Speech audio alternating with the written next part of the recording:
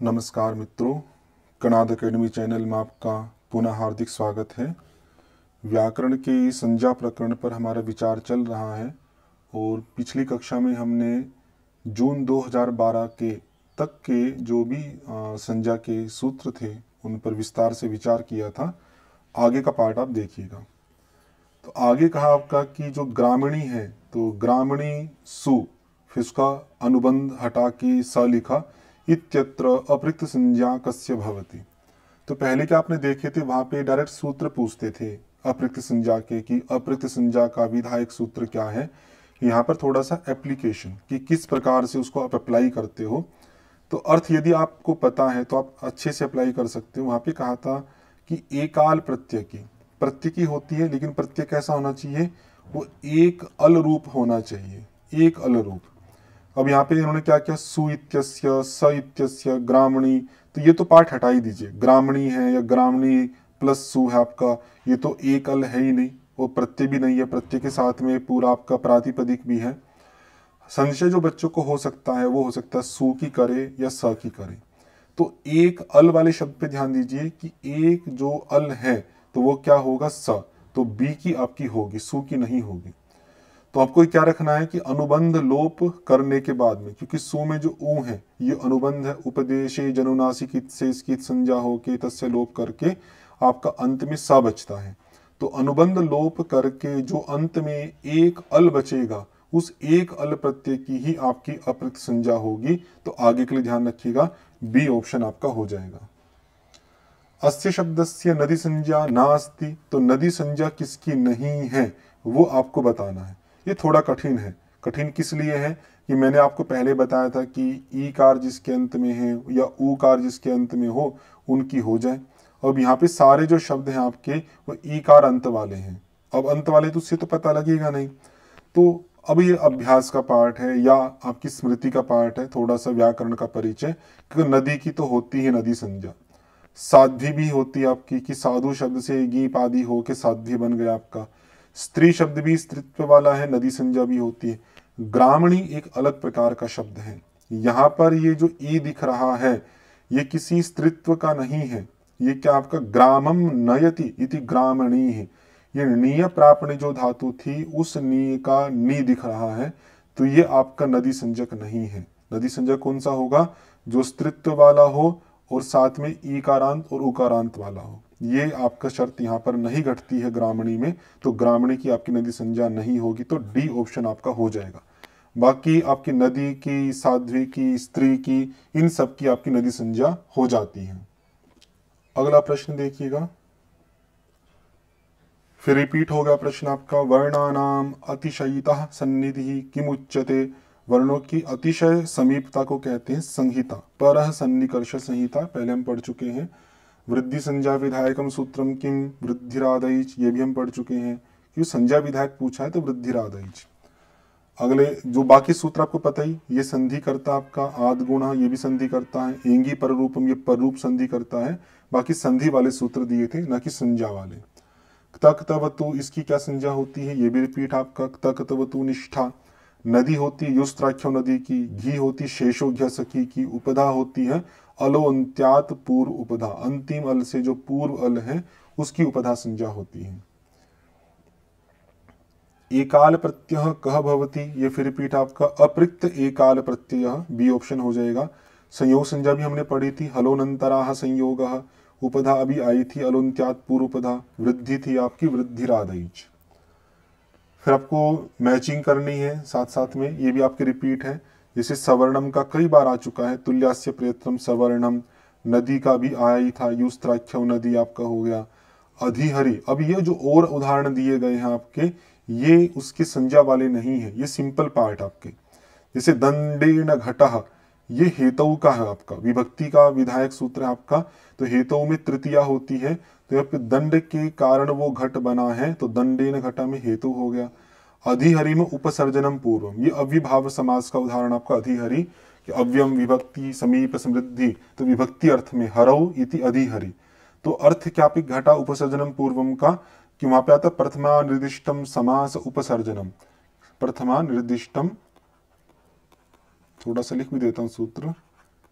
निर्दिष्टम समास उपसर्जनम कि समास समास मतलब समास विधायक सूत्र में, समासी शब्द है वहाँ पे, समास विधायक सूत्र में प्रथमा विभक्ति से निर्दिष्ट जो पद है, उसकी क्या हो जाती है? उपसर्जन संज्ञा हो जाती है।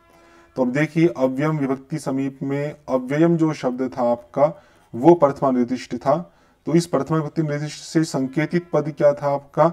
अधि, क्योंकि अधि ही अव्य संजक है। क्योंकि जब यहाँ पे विग्रह हम करते हैं तो हरऊ ऐसा विग्रह किया कि हरि गी, अधि और सु। अब पूछा कि इनमें से पहले कौन रखे? हरि पहले रखे या अधि पहले रखे?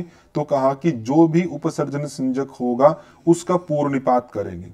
वो प्रथमा निर्दिष्टम समास उपसर्जनम से अधि जो था, ये उपसर्जन संजक था, उसका पूर्ण निपात होके अधि हरि। इस प्रकार से ये उदाहरण आपका मैच होता है। बाकी का आपको बता ही दिया था। अच्छा प्रश्न था आपका कुछ चीज़ें इसमें। तो वो आपको ध्यान रखनी चाहिए, आगे भी पूछी जा सकती है। अगला प्रश्न है आपका, विष्णु इमो, अत्र का संज्ञा प्रवर्तते। कि यहाँ पर कौन सी संज्ञा होगी? तो यहाँ पे प्रगृह्य संज्ञा है। ईदु दे द्विवचनम प्रगृह्यम। हमने पढ़ा था, ईदु दे ई उ और ए। तो ई कारांत या ऊ कारांत या ए कारांत जो द्विवचन वाले शब्द हैं, उनकी प्रगृह्य संज्ञा हो जाती है। और विष्णु को देखो, विष्णु प्रथमा में बनेगा। विष्णु, ये द्वितीय में हो गया आपका। ऐसे विष्णव ये बहुवचन में हो जाएगा। तो विष्णु जो शब्द है आपका, ये द्विवचन में है आपका। तो वही बात, और उकारांत भी है तो इसकी प्रगृह संज्ञा होगी। और प्रगृह संज्ञा का फल क्या है यहाँ पर? कि इमऊ परे होने पर जो संधि प्राप्त थी आपकी, यण संधि, वो यण संधि आपकी नहीं होगी। तो विष्णु इमऊ दोनों अलग अलग ही रहेंगे। आपको डायरेक्ट भी नहीं नहीं याद आता तो ओरो को देख सकते हो। घी संज्ञा तो शेषो घ सखी, ह्रस्व इकार वाले या ह्रस्व उकार वाले की होती है। संयोग संज्ञा तो व्यवधान रहित जो हल है उनकी होती है। यहाँ पे कुछ ऐसा पार्ट नहीं है। यहाँ पे श ओणा के संदर्भ में नहीं देखना, दोनों शब्दों के संदर्भ में देखना है। नदी युस्त्राख्यो नदी, वहाँ पे ठीक आपका कि ऊ है, दीर्घ ऊ, लेकिन विष्णु शब्द, स्त्री आख्या वाला तो नहीं है। ये तो पुल्लिंग शब्द है आपका तो इसलिए वो भी नहीं हो सकती। तो कभी कभी पारिशेष न्याय से भी यदि आपको संशय होता हो तो आप सही उत्तर तक पहुँच सकते हैं। तो स्पष्ट ज्ञान होना चाहिए आपको। सभी सूत्रों का अर्थ सही से पता होना चाहिए और वो कैसे कैसे घटते हैं, वो भी आपको पता होना चाहिए। तभी आप आंसर ठीक कर पाएँगे। कृत तद्धित समासाश्च, ये पहले भी आ चुका है, इससे क्या संज्ञा होती है? प्रातिपदिक संज्ञा। तो प्रातिपदिक संज्ञा के दो सूत्र हमने देखे थे। एक अर्थवद धातुर प्रत्यय प्रातिपदिकम वो था। और ज़्यादा जो प्रश्न आपके पहले भी आए हैं, वो किससे आए हैं आपके? इसी से। कृत तद्धित समासाश्चय कृदंत जो है तद्धितांत जो है, और जो समास वाले हैं, उनकी प्रातिपदिक संज्ञा हो जाती है। नदी वाला हमने देखा था, युस्त्राख्यो नदी, गति को गति प्राद है, आपकी गति संज्ञा होती है। सरनाम संज्ञा, आपकी कई सारे सूत्र हैं आपके। वहाँ पर है स्वरादि निपातम अवीम इत्यादि, सर्वादीनी सरनामानी आदि करके वहाँ पे सर्वनाम संज्ञा आपकी आती है। दिसंबर 2014 का है, विभाषा संज्ञा विधायकम सूत्रम की बिल्कुल अलग वाला पार्ट आ गया। ये रिपीट नहीं है। तो न वेति विभाषा सूत्र है। सिंपल सा ही सूत्र में ही लिखा है। विभाषा की गिश्यो हाँ ये कंफ्यूजन करने देखो, कई विभाषा वाले सूत्र दे दिए। लेकिन ये सब अलग अलग कार्य करने वाले ये सरनाम संज्ञा करता है, कोई कुछ करता है, कोई कुछ करता है। तो यहाँ पे सूत्र मूल आपका जो विभाषा संज्ञा करता है, न वेति विभाषा। तो अर्थ भी देख लीजिए। न और वाह दो शब्द यहाँ पे किए हैं। और बाद में इति लिखा है। तो न मतलब न शब्द नहीं लेना। न का जो अर्थ है निषेध, ये ध्यान रखना। आगे पूछ सकते कभी प्रश्न? यहाँ पे शब्दों की नहीं होती। न का जो निषेधार्थ है, वा का जो विकल्पार्थ है, उन अर्थों की होती है। ये अर्थ ग्रहण किससे किया जाता है? इति शब्द के ग्रहण से। कि इति शब्द के कारण से न और वा, इन शब्दों की ना हो के न का जो निषेधार्थ है, वा का जो विकल्पार्थ है, उनकी विभाषा संज्ञा होगी तो 26 का हो जाएगा आपका डी ऑप्शन। अपृक्त एकाल प्रत्यय इति सूत्रे अल इत्यनेन किम गृह्यते? अल के द्वारा क्या ग्रहण किया जाता है? इस पे मैंने एक वीडियो बनाया हुआ आपका। आप देख लीजिएगा उसमें। तो उसमें प्रत्याहारों के बारे में बताया। कौन कौन से प्रत्याहार बनते हैं? किस प्रत्याहार से किन किन वर्णों का ग्रहण किया जाता है? तो ये अल भी एक प्रत्याहार है। ऐसे बहुत सारे चालीस तिरतालीस प्रत्याहार बनते हैं। सबका प्रयोग तो नहीं होता आपके सिलेबस में। कुछ का होता है, जैसे अच हो गया हल हो गया, अल हो गया, ये प्रसिद्ध प्रसिद्ध है। तो अच के द्वारा कहते हैं स्वरों को, हल के द्वारा कहते हैं व्यंजनों को, और अल में दोनों ही आ गए अ से लेकर ल तक मतलब जितने भी वर्ण हैं, उन सब वर्णों को अल के अंतर्गत गृहित किया जाता है। ठीक है? ये ध्यान रखिएगा। सामान्यतया घी इति संज्ञा कस्य भवति। सामान्य रूप से, पूरा अर्थ नहीं लेना है, बस सामान्य ही लेना है कि घी संज्ञा किसकी होती है? स्त्रीलिंग शब्द स्त्रीलिंग वाले जो शब्द हैं, उनकी आपकी घी संज्ञा होती है। वैसे अगर देखें तो ये प्रश्न थोड़ा सा गलत रूप में है, क्योंकि इसके दो दो ऑप्शन किए जा सकते हैं। अगर आप पूरा अर्थ देखें शेषो घ सखी का तो वहाँ पे कहते हैं कि शेष की घी संज्ञा होती है। तो शेष जो किया जाता है, दो रूप में करते हैं वहाँ पे शेष। एक तो कहते हैं कि हर्स्व ई वर्ण और उ वर्ण अंत वाले जो शब्द हैं लेकिन जो स्त्री की आख्या वाले नहीं है, स्त्री की आख्या वाले नहीं है, अर्थात पुल्लिंग वाले हैं, सामान्यतः हम कह सकते हैं, उनकी भी घी संज्ञा होती है। जैसे अग्नि शब्द है, वायु शब्द है, इत्यादि शब्द है, गुरु शब्द है, इस इस प्रकार के शब्द आपके आ जाएँगे, जिनकी आपकी घी संज्ञा होगी। तो इस पक्ष में क्या बनेगा आपका? पुल्लिंग वाला आ जाएगा आपका, पुल्लिंग वाले उदाहरण है। लेकिन एक पक्ष और है आपका, कि जो स्त्री की आख्या वाले हैं भी, लेकिन उनकी नदी संज्ञा नहीं हो पाई तो वो भी शेष है तो उनकी भी घी संज्ञा होती है तो उसमें आपके स्त्रीलिंग वाले भी आ जाएँगे? तो उस दृष्टि से आपके क्या उदाहरण कृति है, धेनु है, वहाँ पर है। तो इसलिए थोड़ा मिक्स पार्ट है। मिक्स पार्ट होने के कारण से ये पुल्लिंग के पक्ष में भी जा सकता है, स्त्रीलिंग के पक्ष में भी जा सकता है। अब पूछने वाले ने किस दृष्टि से पूछा है, वो कहना मुश्किल है। सामान्यतया का अभिप्राय ये भी ले सकते हैं कि पहले जो आपका कहा था स्त्रीलिंग की ही ज़्यादा चर्चा चल रही थी उससे अलग जो है शेष, वो पुल्लिंग का हो गया। तो इस दृष्टि से पुल्लिंग भी अर्थ कर सकते हैं, आपका आंसर कर सकते हैं। यह सामान्य था कि पहले भी स्त्रीलिंग करते आ रहे थे, स्त्रीलिंग की नदी संज्ञा। उनमें से जो बचे हुए स्त्रीलिंग है, उनकी घी संज्ञा हो जाएगी तो उससे स्त्रीलिंग भी कर सकते हैं। इसलिए संशयात्मक पार्ट है। जो जो संभावनाएँ हो सकती थी, वो दोनों मैंने आपके सामने रखी।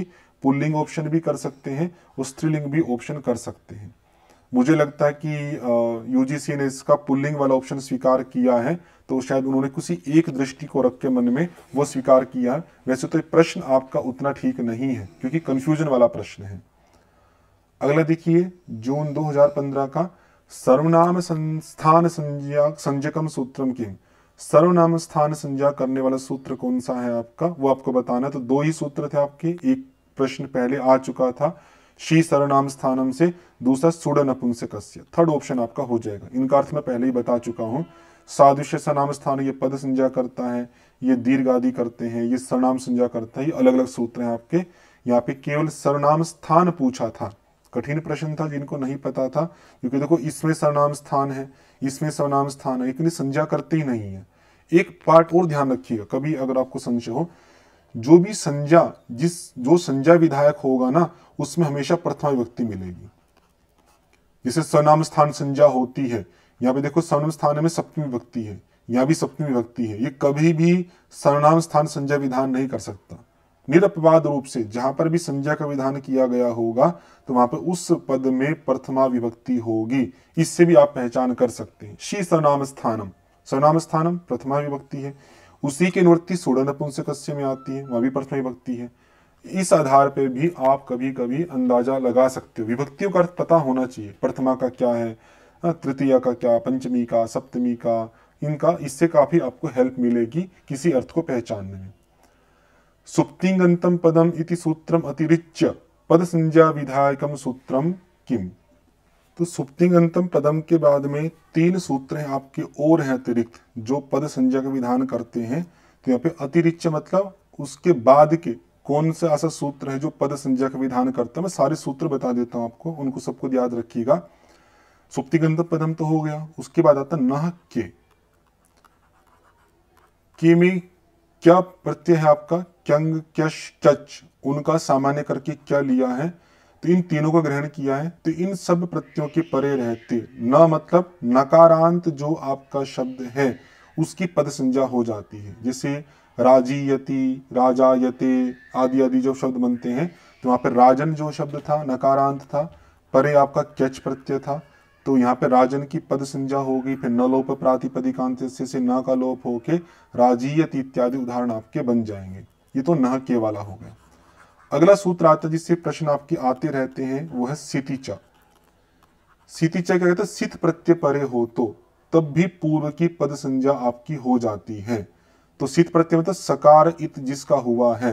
जैसे भवदीय उर्णायु तो उर्णाया युस युस प्रत्यय हुआ। युस में स की हलंतिम से इत संज्ञा हो गई तो ये सित हो गया। तो ऐसे जो भी आपके सित प्रत्यय हैं, उनके परे रहते भी जो पूर्व होगा, उसकी क्या हो जाती? पद संज्ञा। तो ये भ संज्ञा का अपवाद सूत्र है।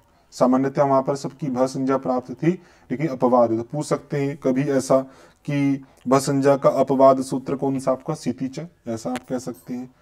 अगला आता आपका स्वादिश्व सरनाम स्थान है, जो कि अपना उदाहरण है। तो स्वादिशु, असरनाम स्थान कि स्वादियों में स्वादियों में मतलब है कि चौथे और पाँचवें अध्याय के जितने भी प्रत्यय उन सबको आप स्वादि प्रत्यय कह सकते हैं। और उनमें भी सरनाम स्थान भिन्न स्वनाम स्थान संज्ञा पाँच की होती है, सु औजस अम आउट उनसे भिन्न होने चाहिए। तो ऐसी जो प्रत्यय उनके परे रहते, पूर्व की पद संज्ञा हो जाती है। ठीक है? तो यही आपका उदाहरण बनेगा, फोर्थ वाला। इसमें कई सारे उदाहरण आपके, जैसे राज भी राजन शब्द था, परे भिस था। भिस आपका स्वादि भी था, सरनाम स्थान भिन्न भी था। उसके परे रहते, राजन की पद संज्ञा होके नकार का लोप हो गया। इत्यादि इत्यादि उदाहरण आपके बनेंगे। इंपॉर्टेंट पार्ट है, सारे मैंने आपको बताए, इनको याद रखिएगा। फोर्थ ऑप्शन आपका हो जाएगा। उपपद संज्ञा विधायकम सूत्रम किम? उपपद संज्ञा विधान करने वाला सूत्र क्या है? वैसे तो उपपद संज्ञा आपकी सिलेबस का पार्ट नहीं है, क्योंकि उपपद संज्ञा कृदंत के पार्ट में है, इसलिए उन्होंने हो सकता, पूछ लिया हो आपका, लेकिन संज्ञा प्रकरण के अंतर्गत आपका ये सिलेबस में नहीं है। तो फिर भी ध्यान रख सकते हैं तत्रोपदम सप्तमी स्थम ये उपपद संज्ञा करता है। ये भी कठिन था, क्यों? उपपद मतिंग में भी उपपद था, ये प्रथमा में भी था यहाँ पर भी उपपद है, ये भी प्रथमाएँ हैं। तो केवल विभक्ति के आधार पर पहचान कर पाना कठिन था कि कौन सा संजय विधायक, कौन सा नहीं है। उपपद मतिंग तो समास विधान करता है। अगर थोड़ी सी जानकारी हो तो आगे ये जो तत्रोपदम सप्तमी स्तंभ कहता है कि तत्र मतलब इस धातु के अधिकार में सप्तमी विभक्ति में स्थित जो पद है, उसकी उपपद संज्ञा होती है। जैसे कर्मण्यन लो, उसके बाद में आपके कर्मण्यन आदि सूत्र हैं। तो कर्मणी ये आपका क्या है?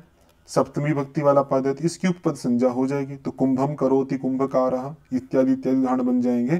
तो मोटा मोटा कर लीजिए तत्रोप पदम सप्तमी स्थम, इससे आपकी उपपद संज्ञा हो जाती है। अगला अधस्तनेशु निष्ठा संज्ञा, कस्य भवती? ये भी पहले आ चुका आपका, क्त और क्तावतु। तो यहाँ पे क्तावतु ऑप्शन है तो थर्ड आपका हो जाएगा। अनियर्तव्य आदि, इनकी निष्ठा संज्ञा नहीं होती है। दिसंबर पंद्रह का देखिएगा। शक इत्यत्र टी संज्ञा कस्य अंशस्य भवती। इंपॉर्टेंट प्रश्न है, कठिन भी है थोड़ा सा एक शब्द लिया उन्होंने, शका। और पूछा कि यहाँ पर टी संज्ञा किस अंश की होगी? तो टी संज्ञा विधान करने वाला सूत्र आपका अचो अंत्यादि टी। थोड़ा समझिएगा। अचह अंत्यादि टी।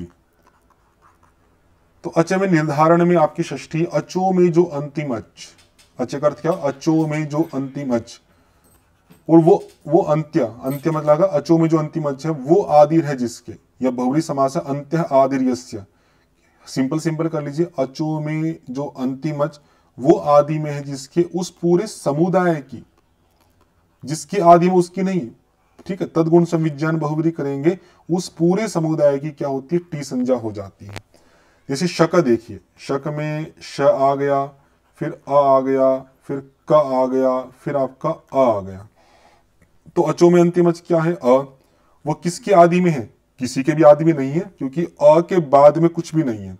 तो आदि में ये मत ले लेना। मतलब अ के बारे में करें अ आदि में है जिसके। मान लीजिए, अगर बाद में कोई त होता तो हम कहते कि अ किसके आदि में है, किसके पहले है? त के। चूँकि बाद में कुछ है ही नहीं तो हम कहेंगे अ के आदि में, अ किसी के आदि में नहीं है, अ अंतिम है। तो अब यहाँ पे कुछ सूत्र लगते हैं इस व्यवहार को करने के लिए कि जब एक ही अ है, इसको हम कैसे आदि कह दें? तो आद्यंत बदे कस्मिन कि एक में भी आदि और अंत का व्यवहार हो जाता है, या व्यपदेशी भाव एक अस्मिन इसको भी आप कर सकते करना चाहे तो। तो ये जो अ था, इस अ की ही आपकी टी संज्ञा होगी। ठीक है? तो सिंपल सिंपल याद रखने के लिए क्या करो? अगर कोई टी संज्ञा पूछे तो दो उदाहरण में रखता हूँ। एक तो अग्निचित रख दिया, मान लीजिए। अग्निचित हो गया और एक शक इत्यादि उदाहरण हो गया। अगर अंत में कोई स्वर आता है, अच आता है तो केवल उस अच की ही टी संज्ञा होगी। केवल उस अच की। कोई विचार करने की ज़रूरत नहीं है। आप सीधा कह दो, अंत में जो अच आएगा, उसकी हो जाएगी। अगर अंत में कोई हल आता है, जैसे अग्नि चित्त में है तो उससे पहले क्या है? ई है। तो इस पूरे इत समुदाय की टी संज्ञा हो जाएगी। क्योंकि अंतिम अच था, ई। और वो आदि में किसकी था? ता के। तो इस पूरे इत समुदाय की, केवल ता या केवल एक ही नहीं, पूरे इत समुदाय की टी संज्ञा हो जाएगी। तो दो ही पॉसिबिलिटीज बनती हैं आपकी, दो ही संभावनाएँ दोनों मैंने आपके सामने रखी। तो यहाँ पे क्या हुआ? ककारोत्तरवर्ती न अकार ये भी घुमाने के लिए कर दिया। सिंपल आकार नहीं लिखा उन्होंने ठीक, क्या कर दिया? ककारोत्तरवर्ती। शकारोत्तरवर्ती नहीं, ककार के बाद वाला जो अ है, अंतिम अ, उसकी होती है। थोड़ा सा अच्छा क्वेश्चन था आपका। थर्ड ऑप्शन आपका बन जाएगा। पूरे का की भी नहीं होगी या पूरे शाह की भी नहीं होगी, केवल अ की होगी और वो भी कौन सा अ ककार के बाद वाला जो आ आएगा उसकी होगी। आगे पूछा, सखन इत्यत्र उपधा संज्ञा कस्य भवती? ये पहले भी हम घटा चुके हैं। अंतिम अल से जो पूर्व अल है, सखन में देखो, पहले से आ गया, फिर अ आ गया, फिर ख आ गया, फिर अ आ गया, फिर न आ गया। अंतिम अल है न, उससे पूर्व अल क्या है? अ। इस अ की उपधा संज्ञा हो जाएगी। सिंपल सा पार्ट है। तो देखो क्या होएगा आपका? खकारोत्तरवर्ती न अकार ये हो गया। खकारोत्तरवर्ती अन का नहीं होगा, सकार का नहीं होगा। सकार से उत्तरवर्ती जो अकार, उसका भी नहीं होगा। थर्ड ऑप्शन हो जाएगा कि खकार के बाद वाला जो अकार है, उस अकार की आपकी उपदा संज्ञा हो जाएगी। वर्णानाम अतिशय सन्निधि, ये दोबारा आ चुका है संहिता संज्ञा अधोलिखितेशु कस्य सनाम स्थान संज्ञा भवती, ये भी दोबारा आ चुका है शी सरनाम स्थानम, शी की होती है आपकी। अंत्यादल पूर्ण से का संज्ञा भवती, उपधा संज्ञा भवती यह भी आया था आपका। अधोलिखितेशु निरनुबंध कह कह प्रत्यय, अपृक्त संज्ञको भवती। अब ये थोड़ा कठिन दे दिया। अपृत संज्ञा पूछी है? अपृत संज्ञा किसकी होती है? अपृत एकाल प्रत्यय, एक अल वाला जो प्रत्यय है अब कहे कि यहाँ पे चार प्रत्यय दिए हैं। उनमें से अनुबंध हटाओ। अनुबंध हटाने के बाद जो केवल सिंगल बच जाएगा आपका, केवल एक रूप में, उसकी अपृत संज्ञा होगी। भ्याम में आपका कुछ नहीं हटता। अनंग में ग हट जाएगा, अन बच जाएगा आपका। मुठ में ट बच जाएगा, ग हट जाएगा, अम बच जाएगा। केवल सिंगल तो आपका सु में ही है। सु का ऊ हट के क्या बचता आपका? केवल सकार बचेगा। तो पूछे कि निरनुबंध कहा, अनुरनुबंध का तो अनुबंध हटाने के बाद किसकी होगी आपकी? इसकी हो जाएगी फोर्थ की। दिखने में तो ये अभी अब एक आल नहीं दिख रहा है, लेकिन सूत्र में कह दिया ना कि अनुबंध हटाने के बाद बताओ आप किसकी होगी तो अनुबंध हटाने के बाद आपकी स की हो जाएगी। जनवरी 2017 का देखिएगा आपका। अंत्यादल पूर्वण से का संज्ञा भवती, फिर रिपीट हो गया उपधा संज्ञा। निषेध विकल्प यो संज्ञा का, ये भी रिपीट आपकी न बेती विभाषा से विभाषा संज्ञा। तो मैंने अभी बताया था कि न और वा इन शब्दों की न हो के न के निषेधार्थ की, वा के विकल्पार्थ की, इन अर्थों की विभाषा संज्ञा होती है। तो सेकंड ऑप्शन सुडन पुंसकस्य सूत्रेण का संज्ञा क्रियते। ये भी रिपीट आपका सरनाम स्थान संज्ञा। बाकी भी आप अभ्यास करने के लिए ना जो जो संज्ञाएँ बच गई, उनके सूत्र भी बोला कीजिए। निष्ठा में तक तब तो निष्ठा, पद में सुप्तिगंतम पदम, न के सिति च स्वादिश्व सनाम स्थाने। प्रातिपदिक में अर्थवद धातुर प्रत्य प्रातिपदिकम कृत समासाश्च ऐसा बोलने से वो आपको याद हो जाएगा। येषु गति संज्ञा विधायकम सूत्रम किम इनमें से गति संज्ञा का विधान करने वाला सूत्र क्या है? तो उर्यादि चीड़ाचश्च। गति संज्ञा का एक लंबा प्रकरण चलता है तो उसमें से आपको देखना है उर्यादि च्वी या डाच प्रत्यंत वाले जो शब्द हैं, उनकी गति संज्ञा होती है। तत्रोप पदम सप्तमी स्तंभ उपपद संज्ञा करता है। कुगति प्राध आपकी ये गति आदि संजय है। एक गति चाबू निपात ये निपात आदि के है इसका। ये अलग अलग प्रकरण के हैं आपके। तो यहाँ पे तो संज्ञा वाला पार्ट पूछा था। थोड़ा सा अलग था, पहले नहीं आया था आपका। उर आदि चीड़ाचश्च। तो वैसे तो गति संज्ञा वाले बहुत सूत्र हैं। यदि आपको याद है तो बहुत अच्छी बात है। नहीं याद है तो आप पहले उन सूत्र को छोड़ के बाकी जो संज्ञा विधायक सूत्र हैं, उनको पक्का करें। उसके बाद में आप उन गति संज्ञा वाले जो अनेक सूत्र हैं, उनको भी आप कर सकते हैं। नवंबर 2017 के देखिए, धातु प्रत्ययम प्रत्ययांतम च वर्जयित्वा अर्थवत शब्द स्वरूपम किम भवती? ये आपको बता चुका हूँ आपका प्रातिपदिक संयम अर्थवद धातुर प्रत्य प्रातिपदिकम। अर्थवान शब्द रूप की प्रातिपदिक संज्ञा, लेकिन कैसी? अधातु अप्रत्यय। धातु और प्रत्यय अंत वाला वो नहीं होना चाहिए। न तो धातु की होगी, न प्रत्यय की होगी, वो तदंत विधि से न प्रत्यांत की होगी। इन सबको छोड़कर जो अर्थवान बच जाएँगे, उनकी प्रातिपदिक संज्ञा हो जाएगी तो सेकंड ऑप्शन आपका बनेगा। दिसंबर 18 का देखिएगा मैचिंग करनी है। हम पढ़ चुके हैं बहुत सारा अचो इत्यादि टी, ए का तीन। ए का तीन देखिए, एक से हो रहा है। एक सही हो गया, देखो सेकंड ऑप्शन बन गया आपका। बाकी औरों को भी हम देख लेते हैं। कृत तद्धित समासाश्च से प्रातिपदिक संज्ञा होगी अंत्यादल से पूर्व की उपधा संज्ञा होगी, और ई इंद्र ये प्रगृह संज्ञा प्रगृह संज्ञा के भी कई सूत्र हैं आपके। ईदुदे, द्विवचनम अदसोमाशे निपात एक जनांग इत्यादि करके। तो निपात एक जनांग से यहाँ पर ई की प्रगृह संज्ञा होती है। निपात जो एक अच है, उसकी तो ई इंद्रम, उ उत्तिष्ठ इत्यादि करके कई उदाहरण वहाँ पे दिए जाते हैं। तो इसको आपको ध्यान रखना है थोड़ा सा फिर भी मान लीजिए प्रगृह संज्ञा का नहीं भी पता होता तो और उदाहरणों को आप देखकर आप प्रश्न का उत्तर दे सकते थे। सेकंड ऑप्शन आपका बनेगा। उपधा पे तो ये काफ़ी प्रश्न पूछ रहे हैं तो सेकंड ऑप्शन हो जाएगा अलोन्त्यात पूर्व से क्या संज्ञा भवती? बीस का देखिए सुडन इति पाणिनि सूत्रेण का संज्ञा विधीयते, ये भी रिपीट आपका सर्वनाम स्थान संज्ञा। संहिता किससे होती बताओ? परह सन्निकर्ष संहिता उपधा किससे होती है, अलोन्त्यात पूर्व उपधा विभाषा किससे होती है, न वेति विभाषा। ये भी सब याद हो। अगला देखिए आपका, अक्टूबर 22 का, सीति इति सूत्रेण का संज्ञा विधीयते ये पद संज्ञा के प्रकरण में आपका आता है, मैंने आपको बताया था। फिर रिपीट करते देखो सुप्तिंगंतम पदम पहला सूत्र। अगला नहक्य दूसरा, सीति च। तीसरा स्वादिश्व सनाम स्थान तो पहले स्वादिश्व वाले से आपका आया था, अब आपका सीतिच से आ गया। तो सीतिच सकार इत है जिसका ऐसे प्रत्ययों के परे रहते, उनकी क्या हो जाती है? पद संज्ञा हो जाती है तो फोर्थ ऑप्शन आपका बन जाएगा। भ संज्ञा तो यची भम से होती है, प्रगृह संज्ञा आपकी ईदू दे द्विचनम प्रगृहम से होती है, सनाम संज्ञा सर्वादीनी सर्वनामानी से होती है, वे अलग अलग पार्ट है। अब दिसंबर 2022 का देखिएगा, यहाँ पर भी मैचिंग है आपकी अलग अलग करके। कुछ संज्ञाएँ हैं, कुछ आपके, उनके दे रखे हैं, निरुक्त के, सब मिला जुला के क्वेश्चन बना रखा है। तो पहले देखो, प्रातिपदिक संज्ञा किससे होती है? कृत तद्धित समाज शास्त्र एक सही देखते हैं। डी का वन डी का वन देखो, एक सही हो गया। तो कितना इजी है थर्ड ऑप्शन मैचिंग वाले ना बहुत इजी पढ़ते हैं। बाकी और भी देख लेते हैं हम। भाव प्रधान आख्यातम, निरुक्त में आता है आपका। सत्य प्रधानानी, नामानी, ये भी निरुक्त में आता है। उच्चावचेशु अर्थेशु निपतंती निपाता ये भी निरुक्त में आता है।